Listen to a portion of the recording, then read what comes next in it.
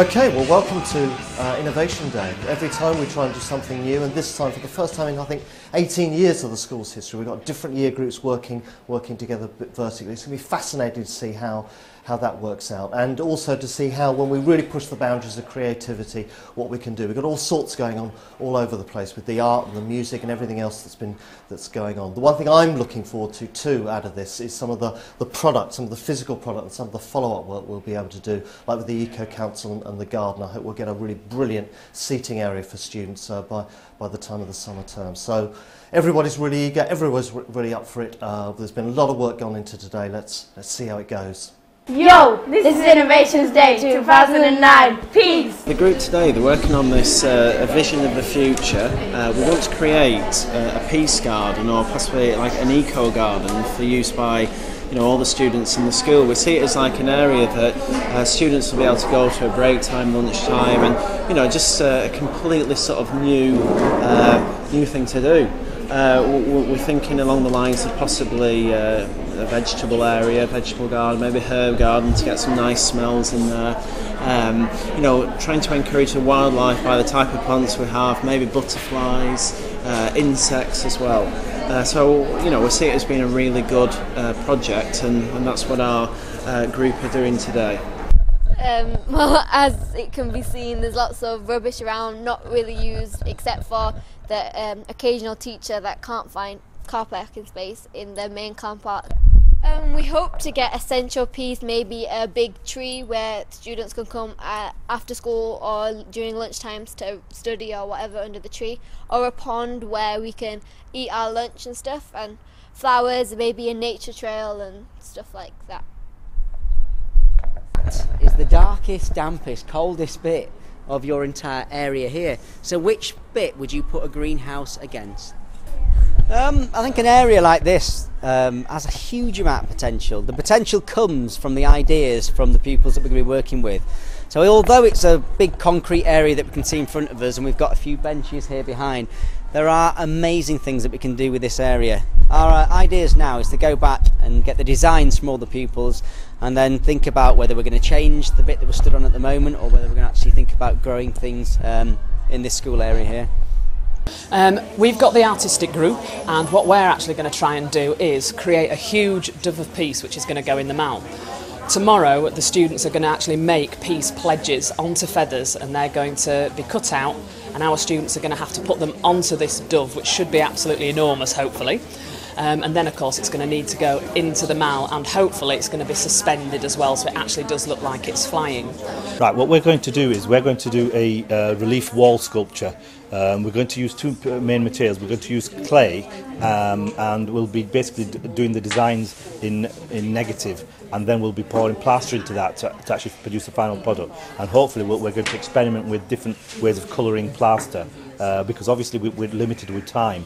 Um, so we can't actually colour it in, in, in, a, in a normal traditional way where we might be able to paint it afterwards. So we're going to have to include maybe dyes and, and maybe cloves dyes. We're just going to experiment with different ways of actually colouring plaster and pouring it into this clay um, model.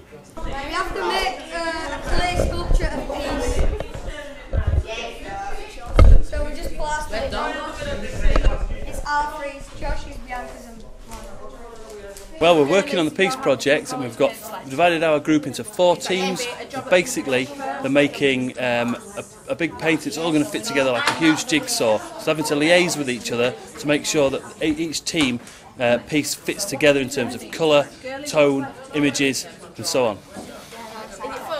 Great. Uh, ask the kids, ask me. I'm having fun, but uh, might be better ask, asking some of these guys. It's hard work. Everyone's working hard.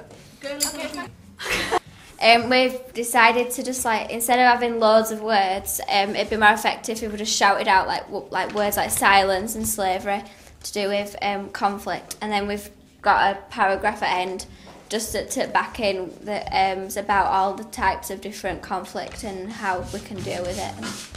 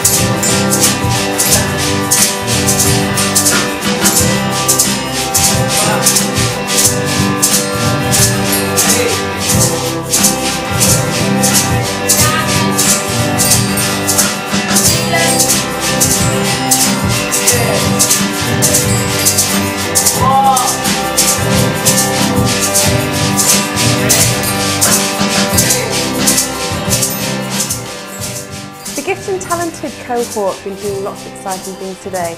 Um, they've been looking at conflict in a real life situation, so they've been looking at the conflict between Russia and Georgia. They're going to be debating that tomorrow, but today they've been doing three workshops one on debating skills, one on negotiation skills, and partaking in a really interesting um, workshop with Bradford University on knowing your stance. So they've each had a go at those different workshops, developing different skills, which they're going to be asked to put into play at the end of today and tomorrow, which I think they're really excited about.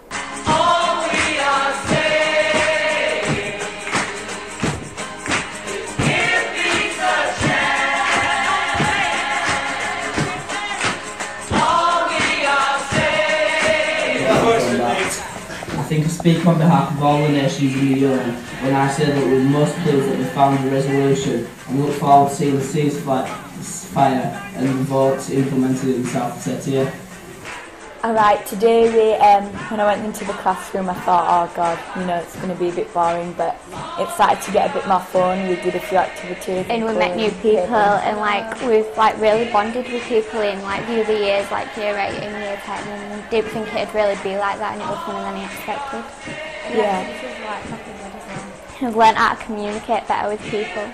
Yeah, and I've met new people that I don't even know, but like them, like my best friends now.